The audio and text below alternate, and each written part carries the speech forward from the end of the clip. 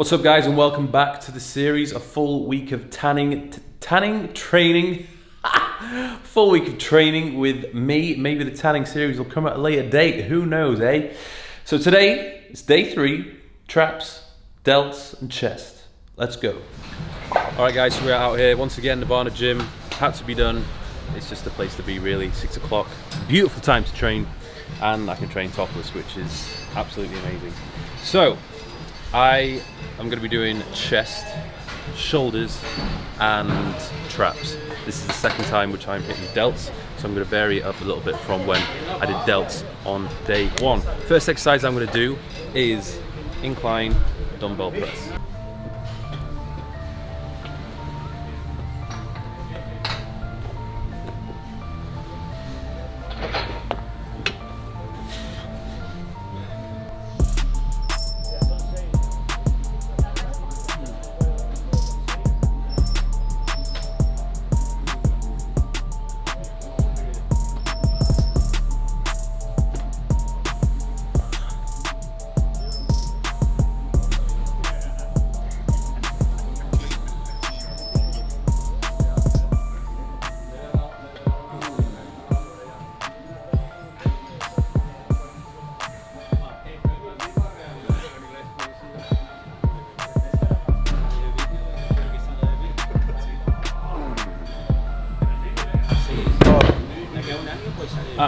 Delightful.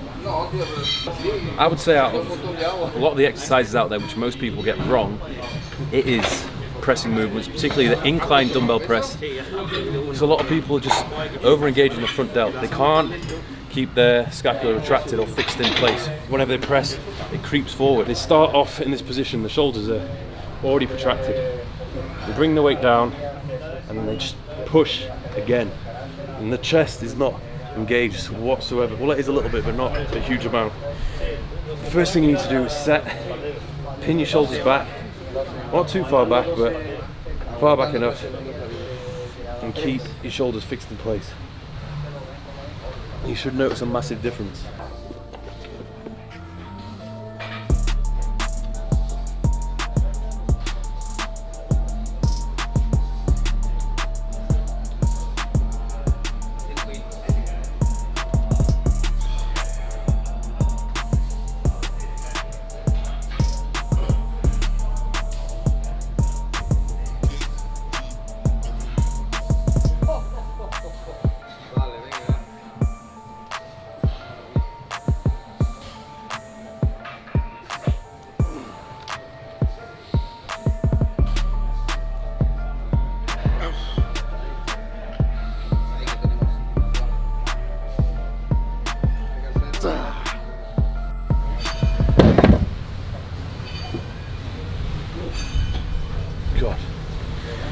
I got hard very quickly because I'm trying to keep to that tempo. If I don't meet the required reps, I'll just speed it up ever so slightly. So I would do three sets, maybe do four sets if you want to just up the volume, but realistically, I don't need a huge amount of volume. I always wonder whether it's just, is it genetics that I've got quite a bit of mass on my chest, or is it because it was like the first thing I started training when I was younger. I remember when I was like 16 years old, I was in my bedroom.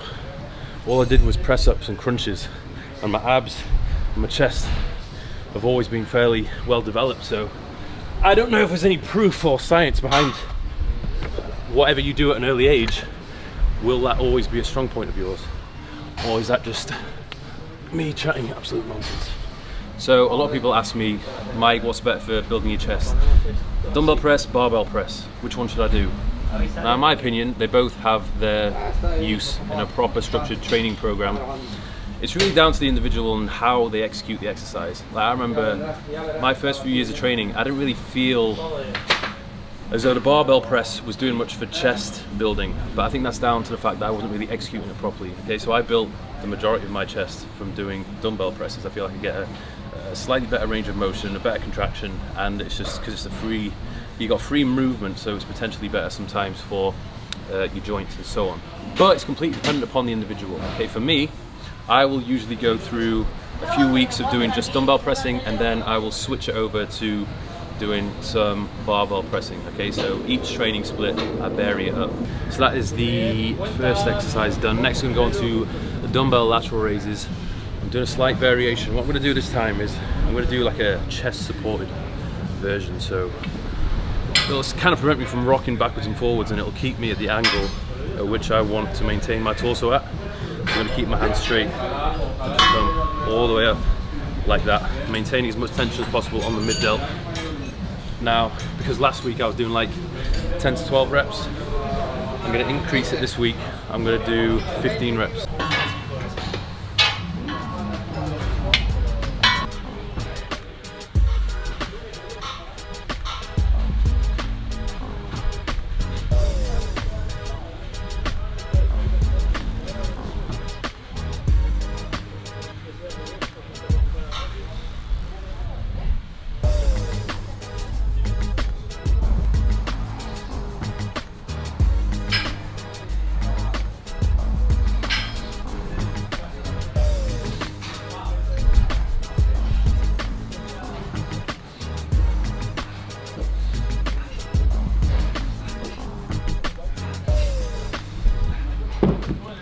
I get more of a delt pump when I'm doing raises with lighter weight compared to when I'm just like, you know, I've done it before trying to do lateral raises with 20 kilograms.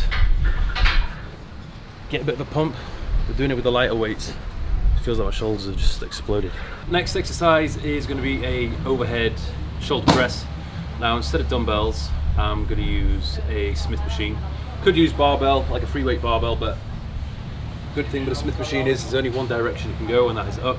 It allows you to just lift a little bit more weight and you're not really relying upon your stabilizing muscles as much, okay? So for me, I'm setting the angle high enough that it's gonna hit my delts. I'm gonna get obviously a bit of upper chest engagement as well.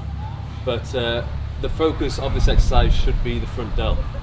I don't do a huge amount of front delt work, that's because it does get worked when you're doing a lot of your chest exercises.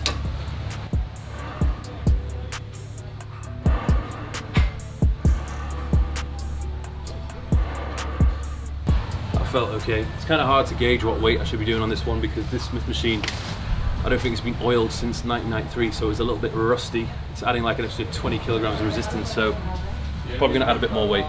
Final set, I'm gonna do as many as I can. Pretty damn heavy. I'm hoping to get eight. If I don't get eight, it's not the end of the world. I'm just gonna do what I can, and I'm gonna drop the weight. Okay, so I'm gonna slip those 15 kilos off and just rep it out. Be nice to have a squad, but um, we'll do it by myself.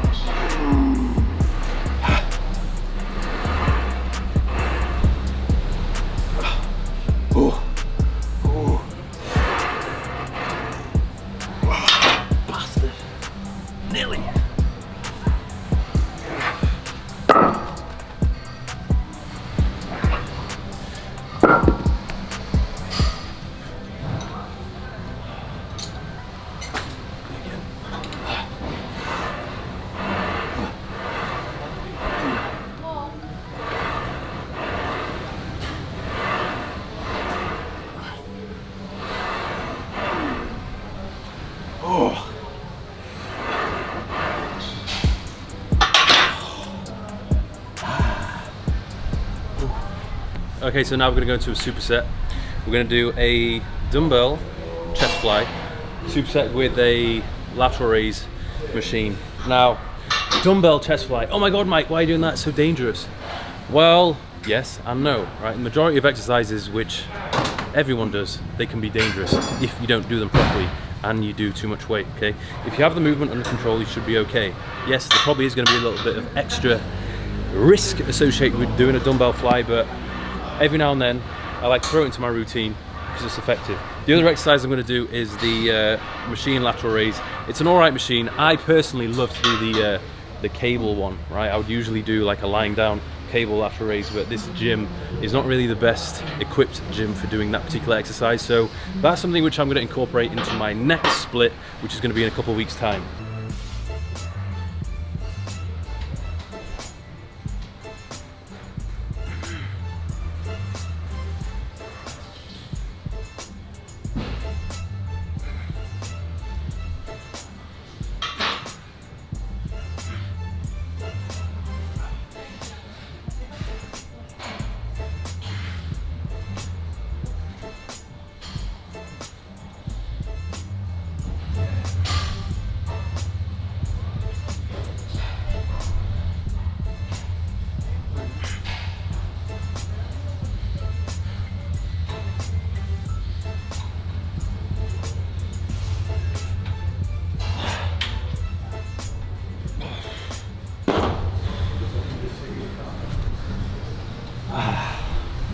So body fixed in place, driving high with the elbows, slight pause at the top.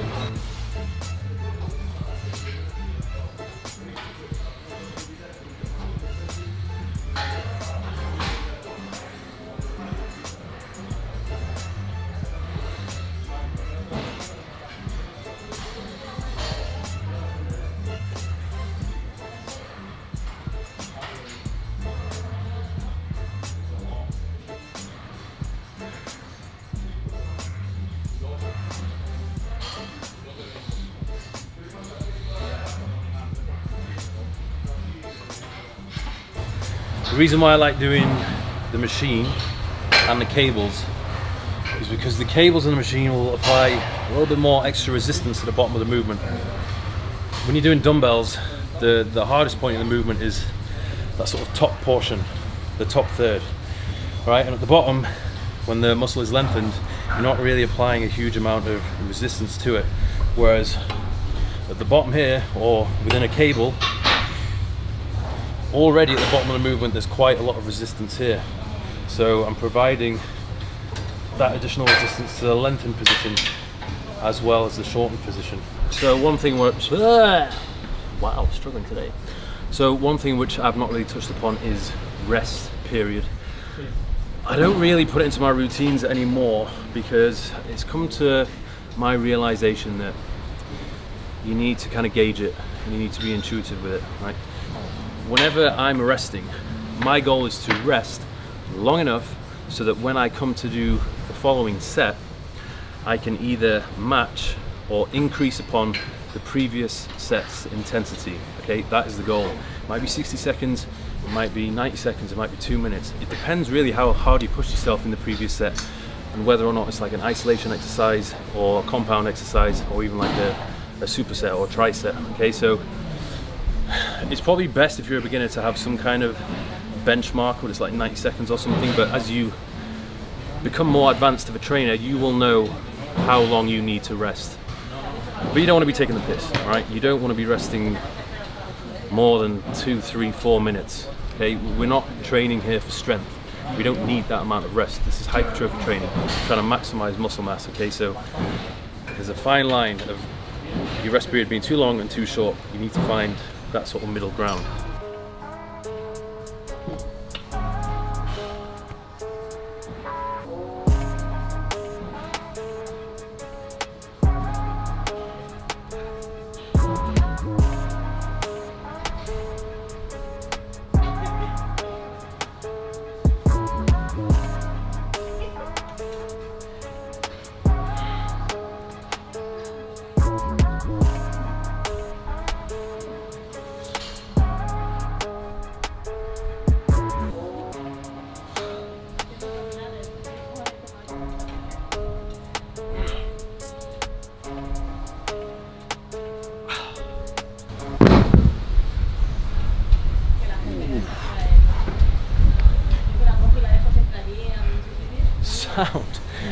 Someone's just jumped on a lateral raise machine.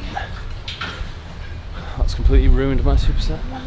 Okay, so next we're gonna go on to a superset that's gonna work on the posterior chain slightly. We're gonna hit the traps and the rear delts. First one, we're gonna do reverse pec deck to hit the rear delts. What I'm focusing on here, pushing shoulders forward and just going through about a half, two thirds of the range of motion. Okay, wherever I can just maintain that tension on the delt, I, just, I don't want to retract my scapula and over engage my back. And then we're to do incline dumbbell shrugs, pretty self-explanatory. So let's go. Push shoulders forward.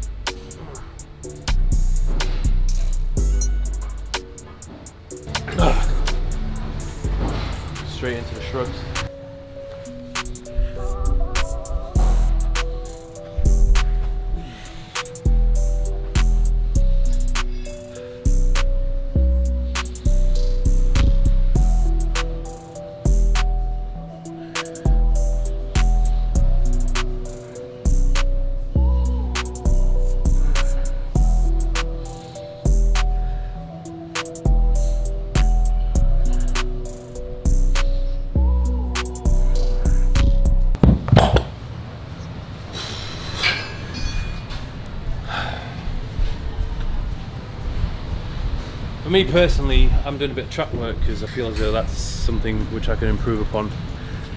When I look at my physique, obviously I see it quite a lot. I'm always critiquing myself, seeing where I can make improvements. It's not really a case now where I just want to be bigger and bigger and bigger. I pretty much reached my genetic potential. It's just all about getting the proportions right.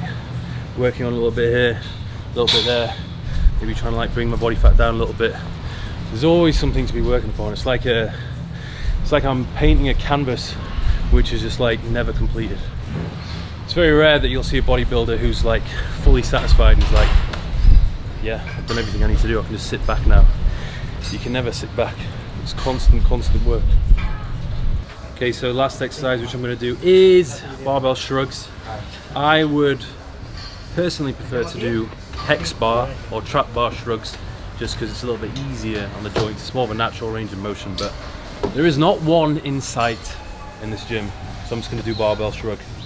Technique wise, lean forward slightly, keep your spine completely neutral, and just lift up and squeeze as high as you can, and then completely relax, okay? Uh, you're just basically trying to get the greatest range of motion possible. I see people do shrugs like that. That's not a rep. That's like point three of a rep, okay? Full range of motion.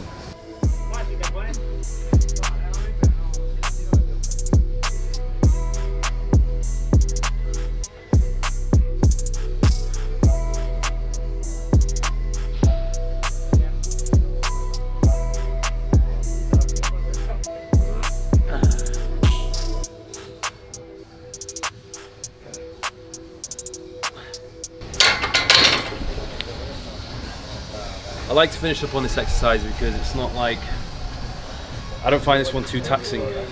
You know, I'm only really using my my traps for this exercise, so it's just something which I'll take to failure as the last exercise. Uh, I felt alright, probably gonna add a bit more weight on that.